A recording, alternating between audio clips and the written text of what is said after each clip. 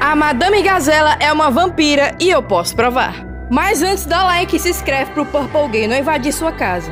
Vocês já repararam que a Madame Gazela nunca aparenta envelhecer? Ela já deu aula pro Papai Pig e nunca envelheceu durante todo esse tempo. Mas agora, se liga nesse episódio. Oh, meus amigos morcegos, eles me lembram do meu antigo país. Vocês não acharam isso estranho? Mas não acaba por aí. Eu sou uma vampira. Oh, uma vampira! Isso me traz lembranças da minha antiga cidade. Isso é estranho. A Madame Gazela não tem reflexo no espelho. Vocês não acharam essa fala dela estranha? Aliás, cadê o reflexo dela no espelho?